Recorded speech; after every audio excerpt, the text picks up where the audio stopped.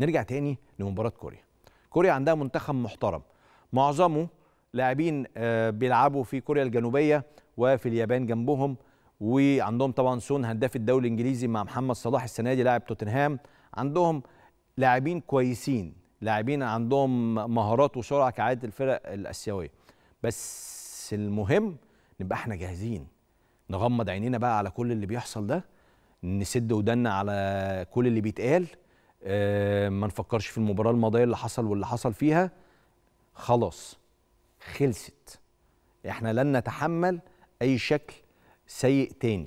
مش هنتحمل. عشان خاطر بلدنا عشان خاطر منتخب بلدنا نبقى مركزين وحابين التيشيرت اللي إحنا لابسينه. ما تفكروش ابدا كلاعبين إنه كابتن إيهاب جلال غالبا مش هيكمل فأنا مش محتاج أثبت نفسي يعني. مش محتاج اوري له نفسي يعني إن أنا لعيب جامد. آه مش محتاج ألعب مباراة كبيرة جدا. ما هو يعني حتى لو ما لعبتش مباراة كبيرة إيه اللي هيحصل لي؟ ما أنا هخش مع المدرب اللي جاي في المنتخب. لا. اوعى تحسبها كده. اوعى تحسبها كده وركز وخد بالك إنك بتلعب بتيشيرت منتخب مصر. وحط نفسك مكان المشجع مش اللاعب اللي في أرض الملعب. أنت كمشجع هتقبل إنه في لاعب في منتخب مصر يلعب بقلة اهتمام أو بقلة تركيز؟ أنت هتقبل بده؟ مش هتقبل. فتعامل ان انت راجل بقى مصري في ارض الملعب مش ان انت لاعب هتتحط في خطة عاملة إزاي مين اللي هيدربك كل ده ما تحطوش في اعتبارك. اللي في اعتبارك بس انك بتمثل بلدك وتلعب مباراة محترمة بإذن الله.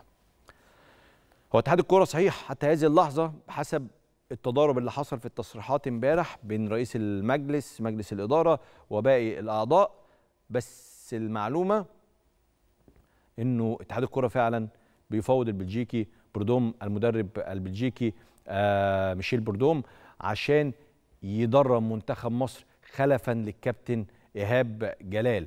وفي حالة تحقيق الكابتن إيهاب جلال الفوز على كوريا الجنوبية هيستمر مع المنتخب وهيتم التفاوض مع بردوم لشغل منصب المدير الفني لاتحاد الكرة خلفا لفينجادا. يعني لو كسب هيبقى الراجل جاي آه مدير فني لاتحاد الكوره خسر بتكلم على كابتن إيهاب جلال هيجي الراجل يبقى مدير فني للمنتخب المصري. طيب.